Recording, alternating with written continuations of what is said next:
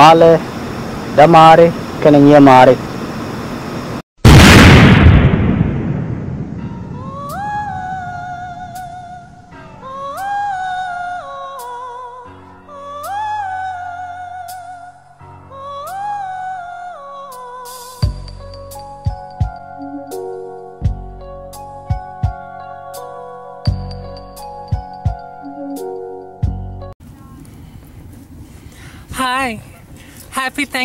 Thanksgiving. This is a very special episode called Message to the Black Americans. The reason I call it that is because I have very special reasons to be thankful every year at Thanksgiving. And that is that I am adopted by black Americans. Today, I really want to talk about what it was like to come to this country, what the process was, and how it is to be from such a different world as the Nile River in Sudan, um, from an Egyptian family, the Kobukeks, um, and to come here to a country that's so different and be raised by Africans in America who had been through slavery and survived the world's worst Holocaust. Very special, special, magical people who I love and would die for and just want so much in this episode to honor them. Also in this episode, we're going to be cooking umfitit. I'm going to show you the recipe for umfitit, which is, um, you call it chitlins in America. Black Americans call it chitlins, but it's an ancient Egyptian dish, umfitit. Um, we're going to do the Egyptian version of it. Um, and also we're going to have a salute because this is Thanksgiving and in a Nilotic culture, you can't have Thanksgiving without a salute to fat women. And so we're going to have a special salute to fat women because, of course, it's that time of year.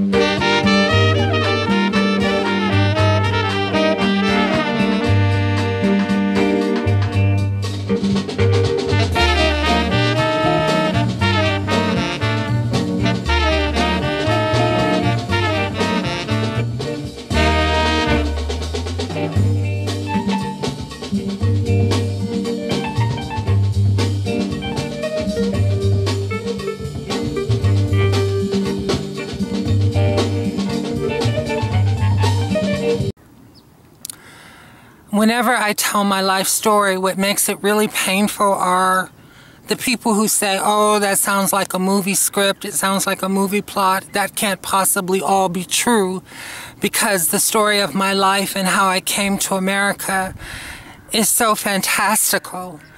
And Francis Bok, who was a slave in my country and he wrote the book Escape from Slavery, him and I became extremely good friends. And we used to talk about that, how, you know, if you put his story and my story and the story of Mende Nazer, who is from the Kordofan region of Sudan, and so many other people from Sudan, if you put our stories together, they aren't so fantastic. They aren't so unique. Our stories are all very, very similar. And um, it's very painful when I talk about, you know, how I came to America. But to make a long story short, my father was Harith Ben Harir, who was an Egyptian archaeologist. Um, he felt he was a black man, but the Africans never accepted him as black, and he devoted his life to black Africans like the Dinka tribe, the Nuer tribe, the Shilluk people in South Sudan. But he was Arab, and so the people didn't want to, um, you know, he was a white Arab, and he was a Kobukek, which means that he was part Turkish um, from that line of Arabs. And he wanted to have black sons, so he purchased my mother, Jiddy, who was a blue black meaning almost charcoal colored uh, Jidwok from the Oromo tribe. Um, they are nomadic Oromo people who travel between Somalia and Ethiopia. And he purchased my mother from her father when she was 14. Um, my father, who had always wanted to be black and wanted black sons, all six of his sons died all six were born stillborn in a row. The seventh child that was born was me, Naima Bent Hadiel. Um, my real name is Naima. And I lived, the seventh child, the only girl. And people where we are from in Omdurman, Sudan, um, accused my mother of witchcraft because six boys had died in a row, and then the seventh child that was born was a girl. Um, I am not unique. Guess what? Writer Gayl Jones had the same um, situation. She is the seventh girl after six boys. And I'm not sure, but I think someone had told me that um, I'm not sure if her brothers also died. But the famous writer Gayl Jones um, has the same thing as me. So it's not so unique or impossible or, you know, the way that people always harass me and try to humiliate me and try to um, discredit my story. Um, my parents were murdered in my presence in Omdurman, Sudan, where I was born on the Nile River in Sudan, um, which is the Arab half in North Sudan. I am not from South Sudan, although I open my show every every episode with um, a South Sudanese speaker speaking in Dinka. I am not from um, that part. Um, my parents were murdered because my Arab father spoke out against slavery in Sudan. He spoke out against the genocide that the Arab Muslims carried out against the uh, black Cushitic Sudanese tribes. I, of course, am Arab. Um, I was born a Sunni Muslim. Um, after my parents were murdered, um, and I'm leaving a lot out. If you want everything, then you can buy my book, uh, Diary of a Lost Girl, which is my autobiography. But after my parents were murdered in um, 1977, I believe, after they were murdered, I came. I was taken to Egypt to my Egyptian family, the Kobukeks. Nejet Kobukek, my Egyptian grandmother, she, you know, you could she's like a Lena Horne looking person, um, white Arab, and she had told me that the family spent 120 years breeding the black out of the Kobukek family, and therefore, you know, they couldn't pass me off as the maid's daughter because I look too much like a Kobukek. I have the facial features and everything. I just came out chocolate. And so she went because uh, adoption is illegal in Egypt. She went to um, the mullahs and got permission, special permission, because of my skin color to put me up for adoption. Um, UNICEF, um, Owen McCannis, a white Irishman, which is the first time I ever saw a white person, um, they put me in his arms and he took me away from Egypt to England. Um, from there, I was placed with an Ethiopian family um, I guess I was six when my parents died, and I was taken away uh, from Sudan. Um, the Ethiopian Ethiopian family didn't want me because they said I talked too much, and when they found out the way that my parents had died, then they thought she's a witch. You know, she talks too much, and her parents died in a really mysterious, tragic way, so she must be a witch. And um, I'm just trying to not cry and stuff. So after all that, um, it came out that a black American man in Washington, D.C., Marvin Johnson, who um, had been a Black Panther and was now working at the Pentagon for um, on the American side, um, wanted to adopt because he heard that there was this little African girl who is in England, in London, who um, doesn't have um, parents, a family.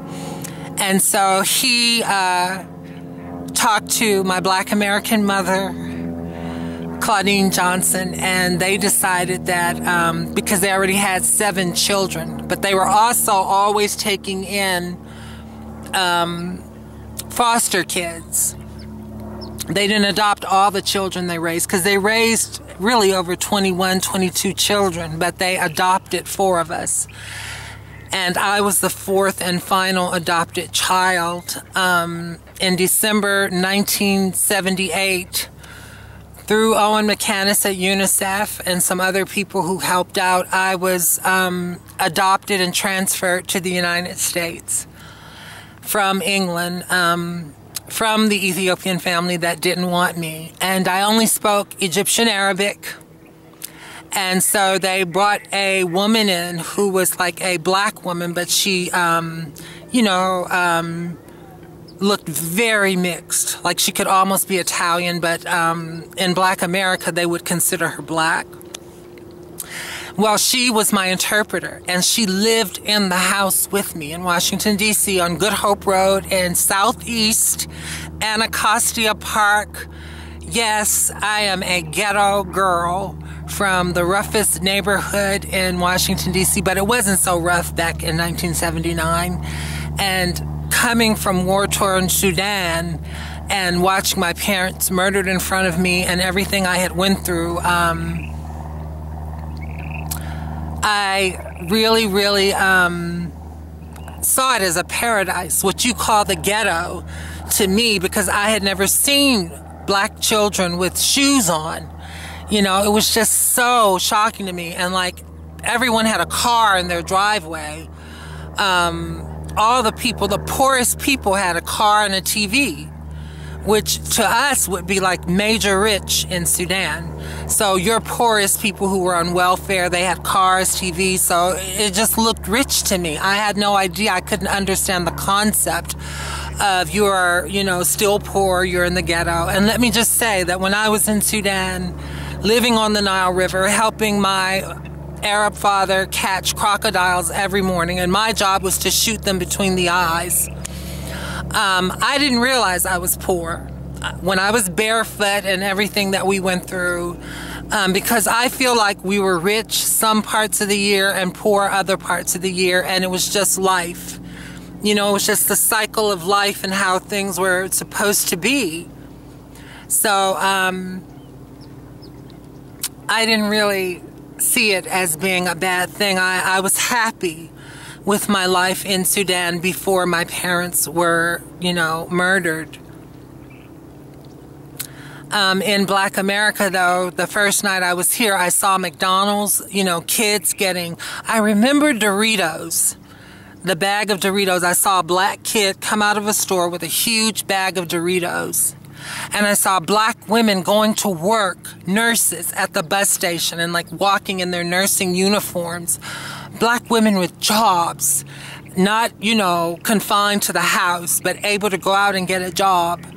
Um, it was just really amazing and dazzling to me. My father, Marvin Johnson, picked me up from um, they take you through a lot because you have to get so many kinds of shots and paperwork and stuff. So I forget because I was so little. I was a little kid, but um, they picked me up from some kind of. Um, U.S. Department of something place at the airport, and there were all kind of federal people there.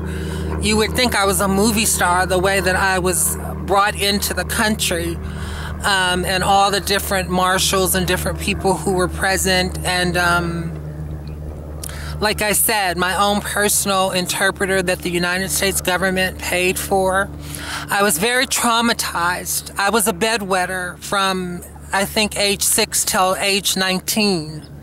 I wet the bed. I was extremely traumatized, and they immediately put me in what is called the Open Space Program at John Hopkins Hospital in Washington, D.C. I was a psychiatric outpatient from the time I arrived in 1979 until I was the age of 19.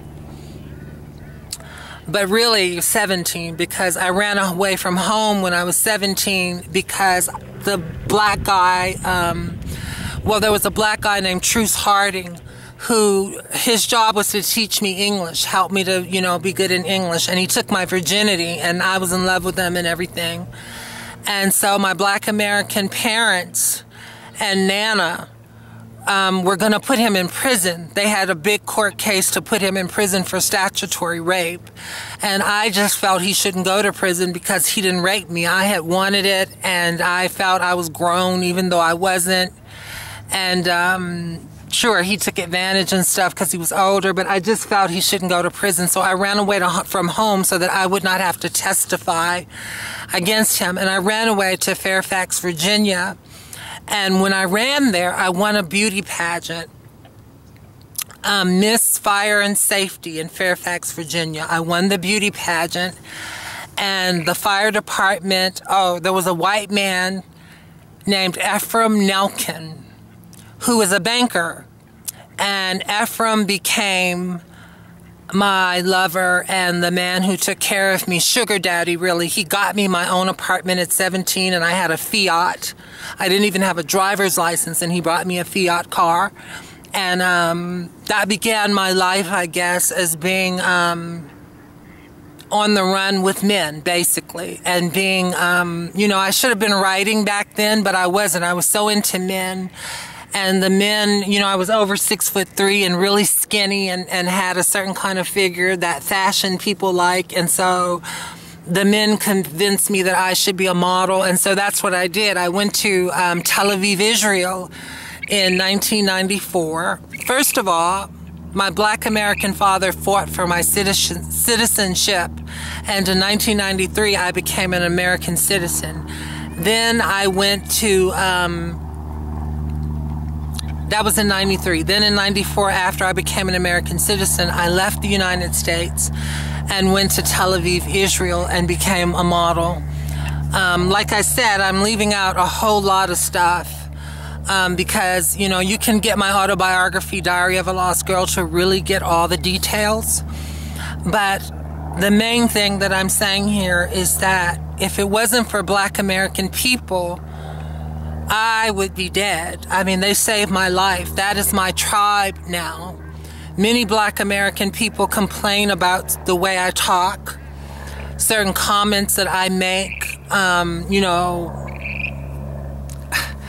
criticism that I have of self hating people who hate our blackness and, and just, you know, it's just hard to explain what I'm trying to say, but there's a lot of black American people who have accused me of hating black Americans. You know, she thinks she's better than us because she's African.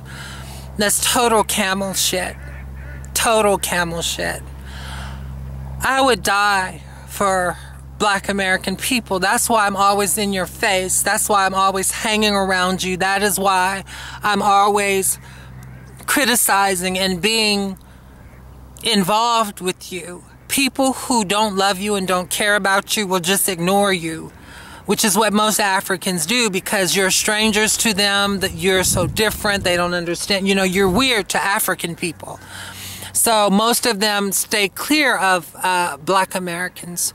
But I was raised by you, I was taken in by you. You saved my life, you nursed me back with love from mental distress after seeing my parents murdered in front of me, after find out that I was vaginally um, infibulated, which I didn't know until my black American mother uh, gave me a bath. That's how I found out that I was vaginally infibulated. You know, um, black American people are responsible for Kola Boof. They have made me outspoken. I am not your typical village girl.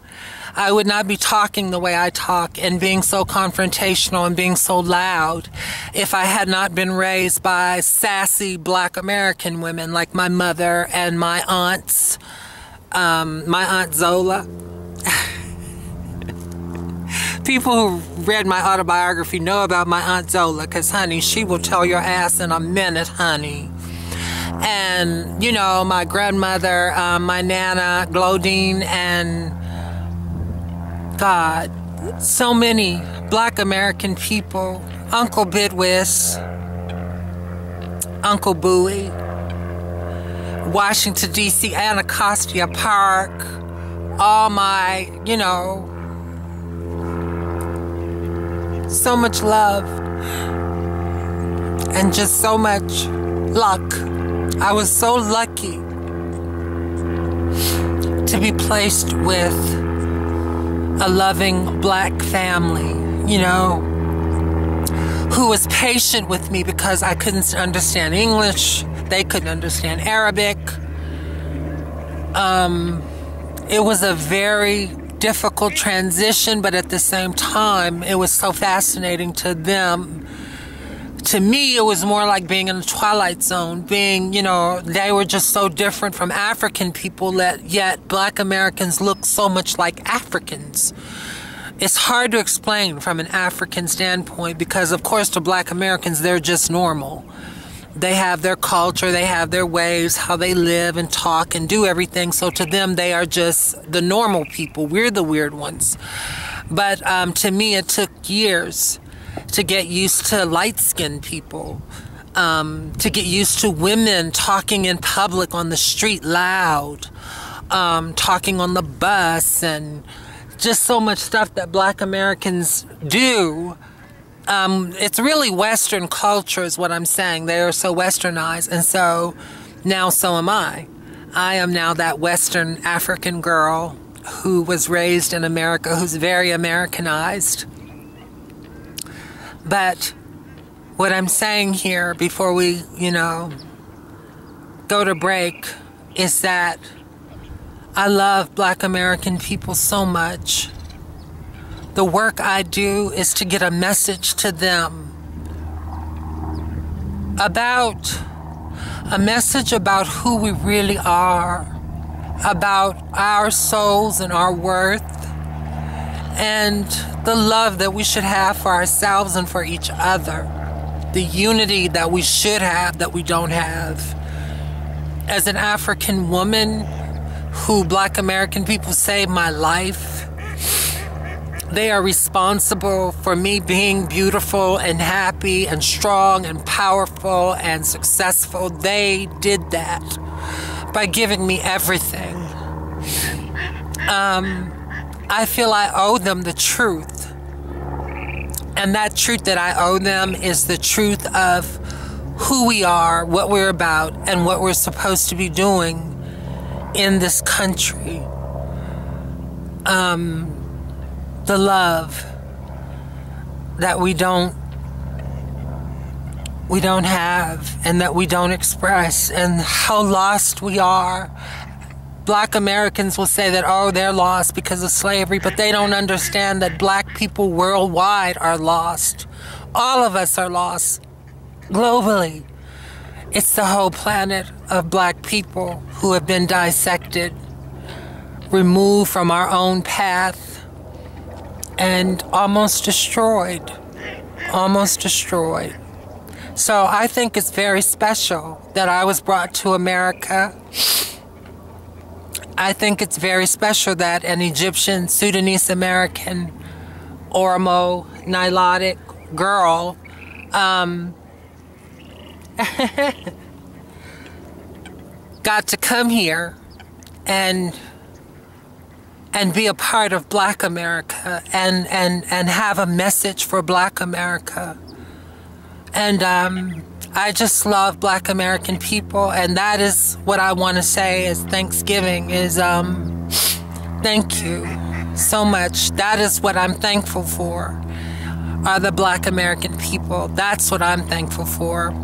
I have a special poem that I have to read. Many of you remember my book, Nile River Woman.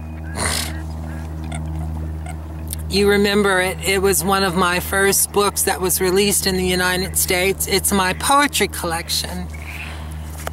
And from it, I want to read a very special poem called Thanksgiving Day. And this poem has become a tradition in my Black American family. We read this poem every year before dinner. And so, um, before I show you how to make umfitit, which are Egyptian chitterlings, and before we have our special salute to fat women, I just want to um, read this poem called From my book, Nile River Woman, here's my poem, Thanksgiving Day. I make no sound but a heartbeat. I take no liberties with the devil, nor do I smoke his dandruff or cut his pathways because life is much too hard. And I love the slow pace of my God and the cornered grins of my ghosts. I love the act of will. I savor the days of the earth. I love the height of the sky. I cherish every black man with an unheard sorrow because our graves are just the same. And I live for the echo of my children, listening for the bolt with the silent faith, with the silent faith that they have in me, with the silent faith that they have in me. I make no sound but a heartbeat.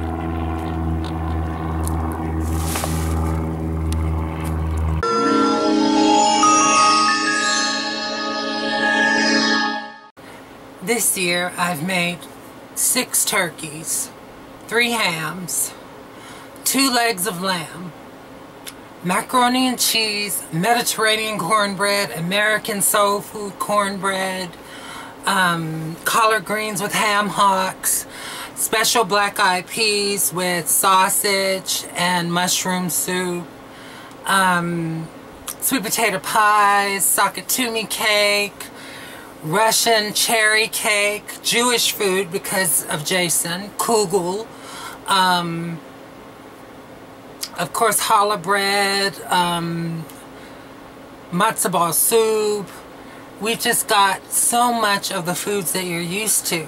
But today I'm going to show you an ancient recipe from the Kom Ombo region, um, the Aswan, southern Egyptian um, region, very ancient dish, which is called umfitit. Nowadays, because Egypt is now mostly Arab Muslims, a lot of people re replace the pork intestines with sheep stomach. But um, we are going to have the real authentic umfitit with pork intestines and sheep stomach. And um, I don't usually eat this the way I'm going to make it for you right now. But I want you to see the authentic way that umfitit is made. Because for one thing, this plant right here, it's called malakia.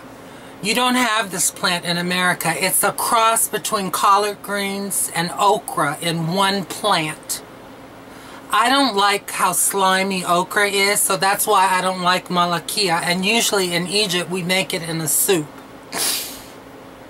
Today, though, I'm going to tell you step by step how we're going to um, make this dish. Also, um, every Thanksgiving, only on that day once a year, I make candied bacon in the morning for my sons. And so really quickly, let me tell you how to make candied bacon.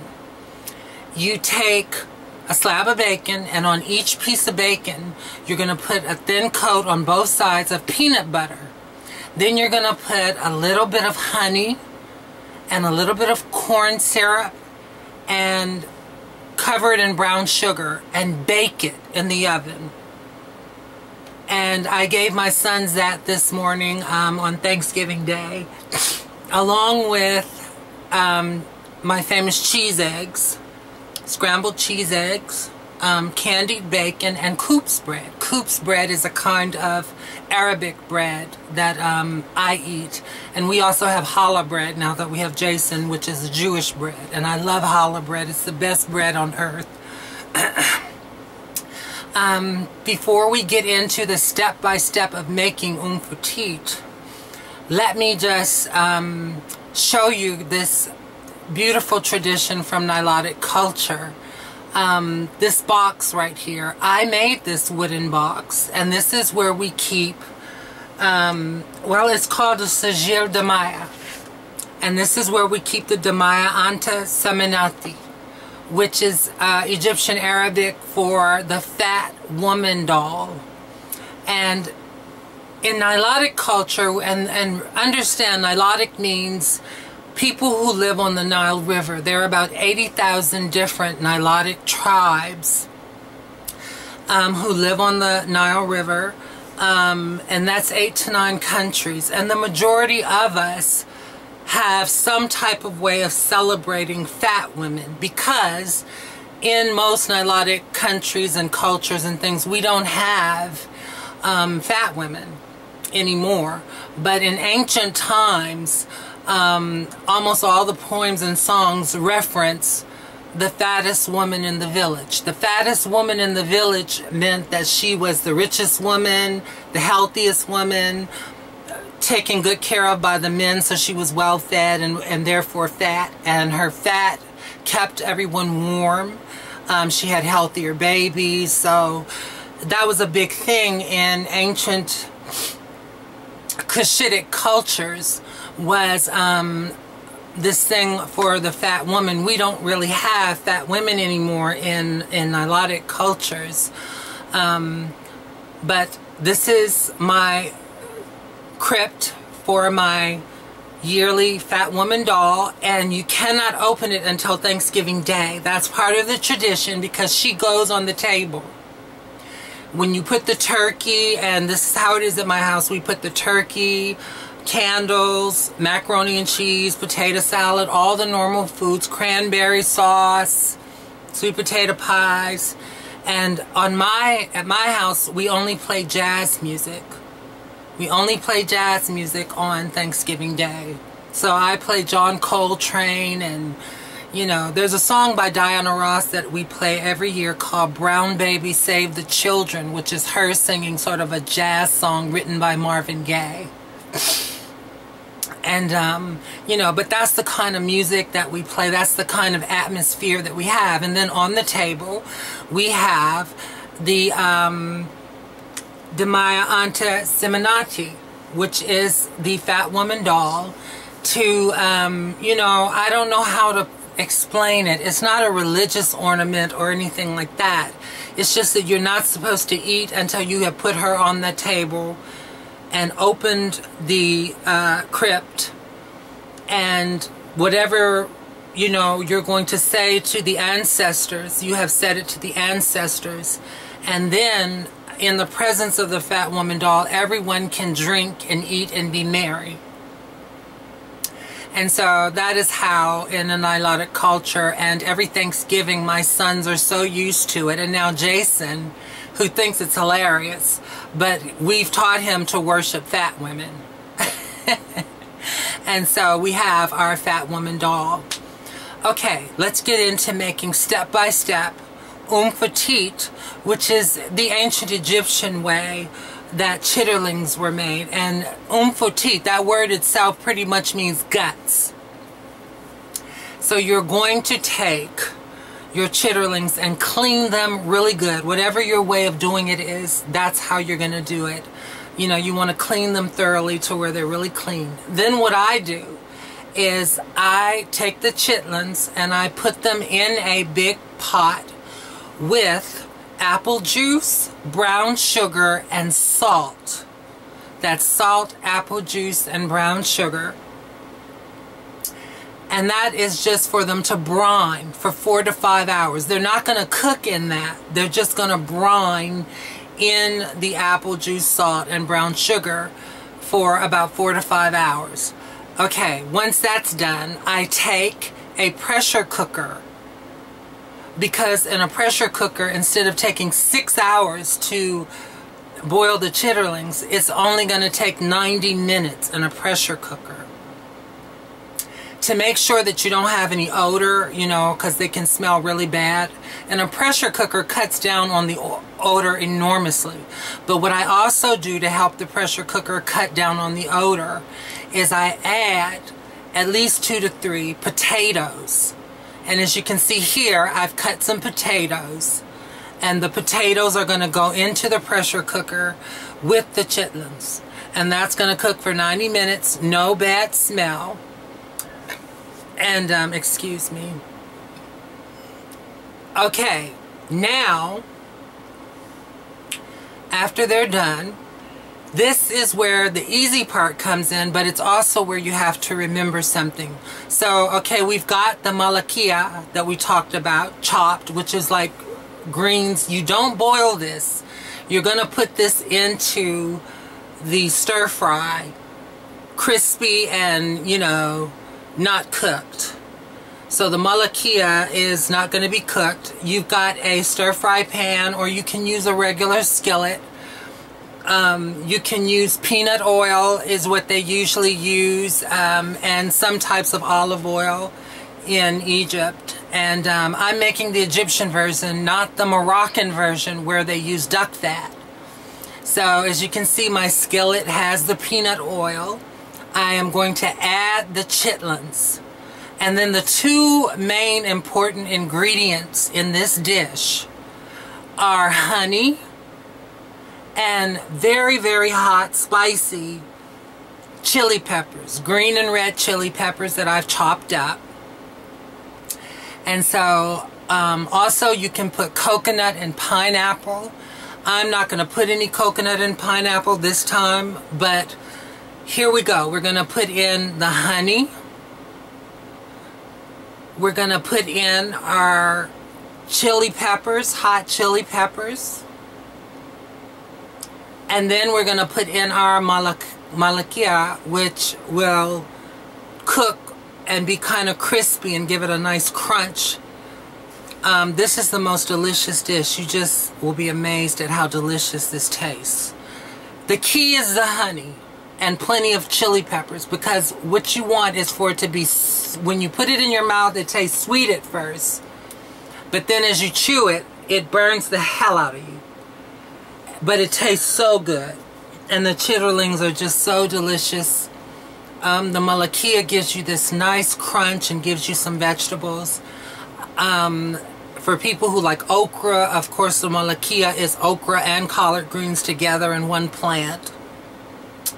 And um, you can go online and find um, African um, stores that will ship it to you. Um, you can get malakia from Africa uh, from Egypt and Ethiopia and places like that. Okay, now that the dish is done, we're going to take the sheep stomach that I sauteed in butter and garlic.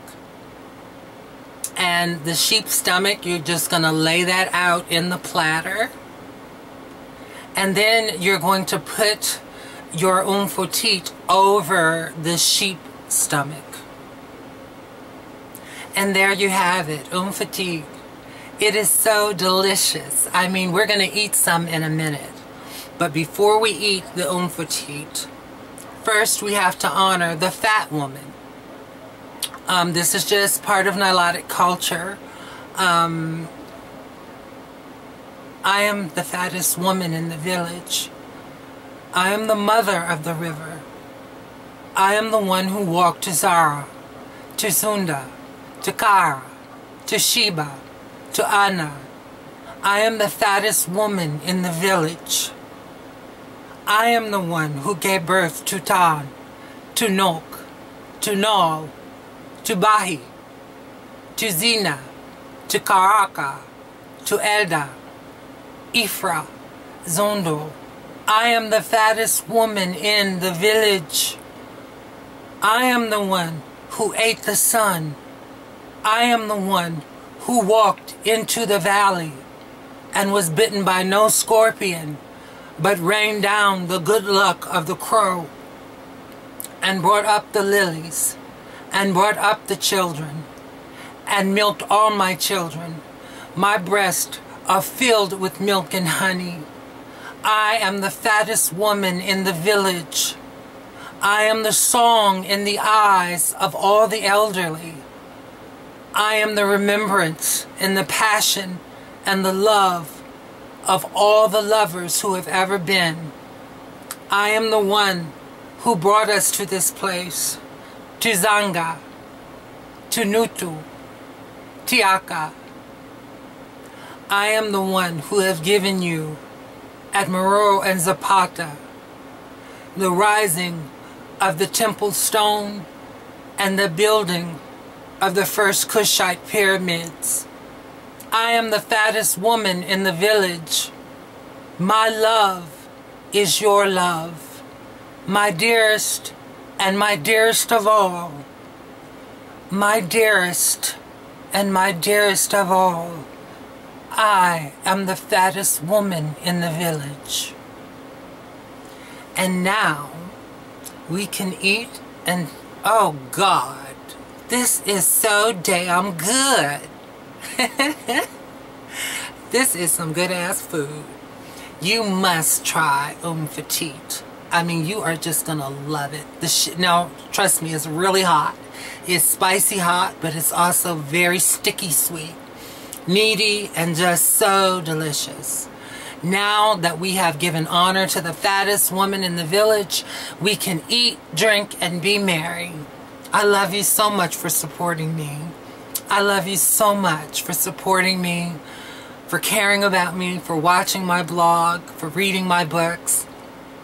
I'm Kola Boof, and I just want to say on behalf of myself and my whole family, we wish you such a beautiful and happy Thanksgiving. Thank you so much. Happy Thanksgiving.